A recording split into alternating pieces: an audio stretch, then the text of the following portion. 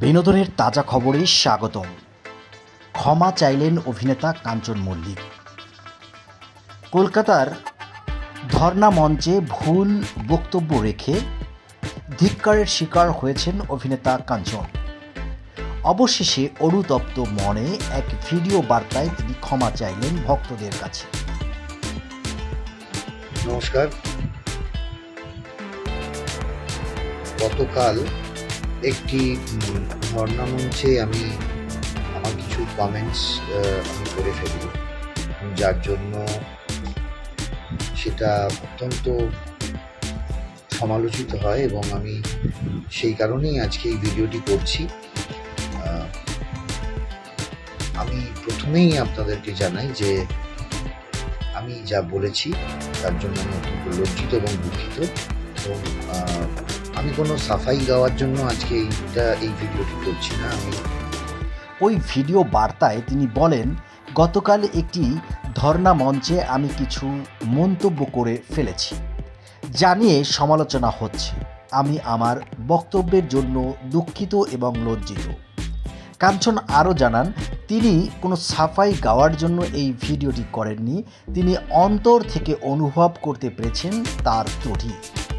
তার কথায় বাড়িতে আমার স্ত্রী অসুস্থ ব্যক্তি রয়েছেন যাকে সুস্থ রাখতে চিকিৎসা পরিষেবার প্রয়োজন পড়ে।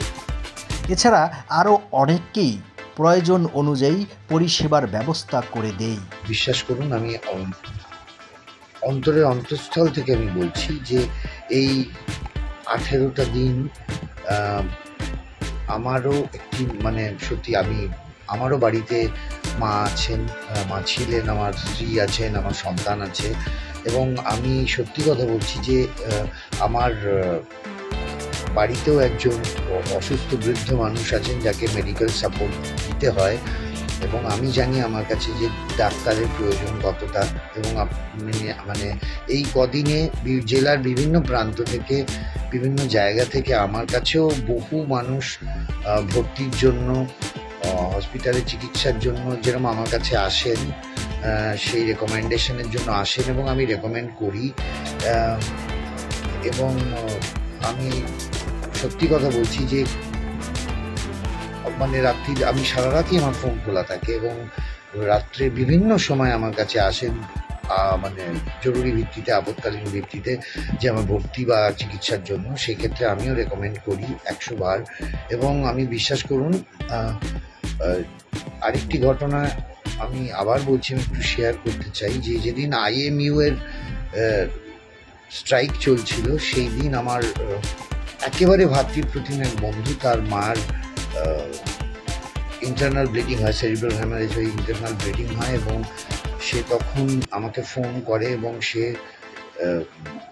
তড়িঘড়ি তার মাকে হাসপাতাল নিয়ে যায় এবং বিশ্বাস করুন, সেদিনকে যা অবস্থা, সে দু তিনটে জায়গায় ঘুরে এবং আমিও ফোন করি, কিন্তু সত্যি সেই পরিস্থিতিও ছিল না। সেই সময় যে সেই ধর্মঘটের মধ্যে সেই কাজ হয়, কেননা সত্যি তিনি তার ধৈর্যচ্যুতির কারণ উল্লেখ করে জানান, তার ভাইয়ের সামনে। তিনি তার ধৈর্যচ্যুতির কারণ উল্লেখ করে জানান, তার ভাইয়ের সমান এক বন্ধুর মা মস্তিষ্কে রক্তক্ষরণ থেকে মৃত প্রায়। ওই ব্যক্তি সেদিনও পরিষেবার কারণে কাঞ্চনের দ্বারস্থ হয়েছিলেন। চিকিৎসকদের ধর্মঘট থাকায় তাকে বাঁচানো যায়নি। সেই দিনই ভেঙে পড়েন তিনি। এই অভিনেতা আরও বলেন, তারপরেও আমি চিকিৎসক এবং চিকিৎসা পরিষেবা নিয়ে কোনো খারাপ মন্তব্য মন থেকে করতে চাইনি পরিস্থিতির কারণে সকলে অশান্ত। তিনি জানান, তার ওপরেও আরজি কর মেডিকেল কলেজে ঘটে যাওয়া ঘটনার প্রভাব পড়েছে। তিনিও আন্তরিকভাবে নির্যাতিতার ন্যায় বিচার চাইছেন। ভিডিও শেষে একজন সাধারণ মানুষের মতোই সকলের কাছে ক্ষমা চেয়েছেন এই অভিনেতা। ধর্ণা মঞ্চ থেকে বিধায়ক কাঞ্চন মল্লিকের করা বেফাস মন্তব্যের কারণে টালিউডের অন্যান্য বন্ধুরা তার সঙ্গ ত্যাগ করেছেন ইতিমধ্যে সেই